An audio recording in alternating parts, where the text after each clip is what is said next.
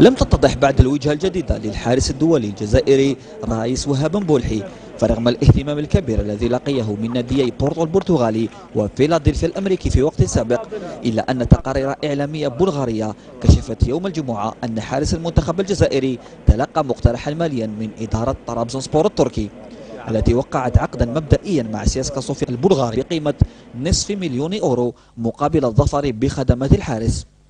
ويصر وحيد حليلوزيتش الناخب الوطني السابق على التعاقد مع مبولحي رغم امتلاكه الدولي التركي أونير كيفراك الذي يعتبر قائدا للفريق.